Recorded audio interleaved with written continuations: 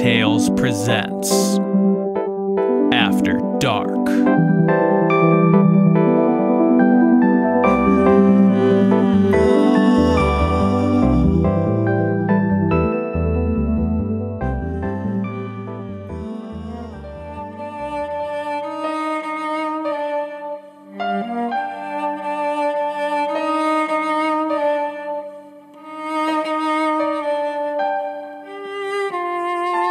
They never talked about what they did in the shadows, after dark when the house was still.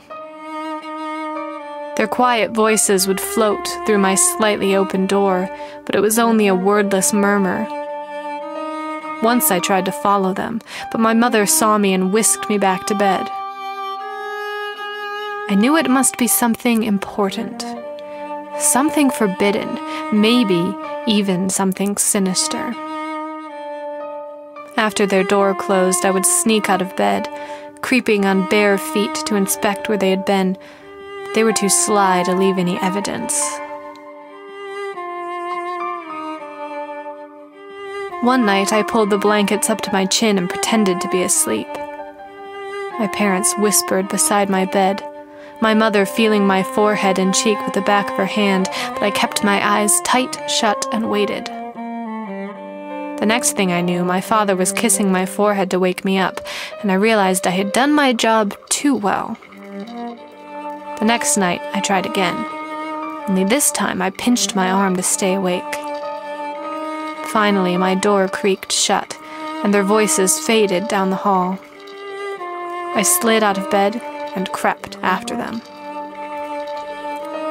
They were sitting together in the shadows, faces close, my mother's hand on my father's cheek. She lifted herself over him, bending her face to his neck. He grabbed a handful of her hair and tugged at her clothing, but she didn't let go. I'd read a book once I wasn't supposed to about creatures of the night and what they did in the dark.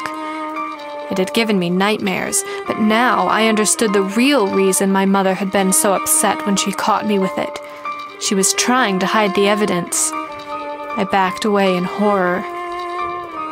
The floor creaked under my feet, and she straightened up, whirling to face the shadows. I sprinted back to my room, diving into bed. Footsteps followed me, and my heart pounded as my door creaked open. Whoever it was eventually left, and I lay there, terrified, until I fell asleep from sheer exhaustion.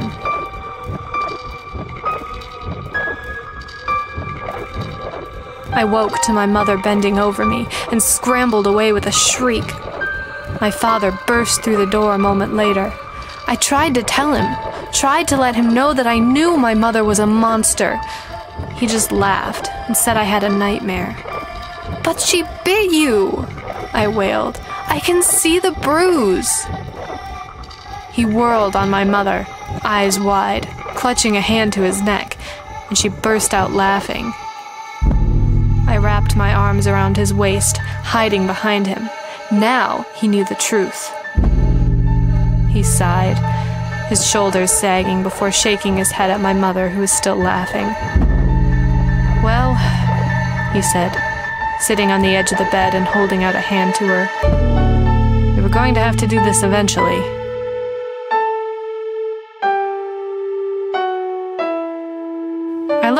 Several things that day, but surprisingly, none of them involved vampires.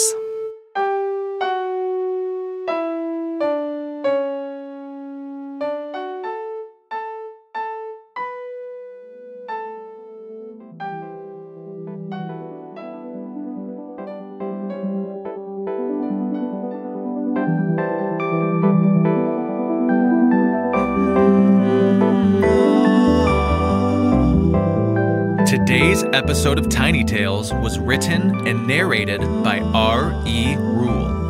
Music and production by Frank Nawrot. If you enjoy our show, don't forget to rate and subscribe. Join us on Patreon for as little as $1 per month to gain exclusive access to the Tiny Tales soundtracks. Visit us at tinytalespodcast.com for details. Thanks for listening.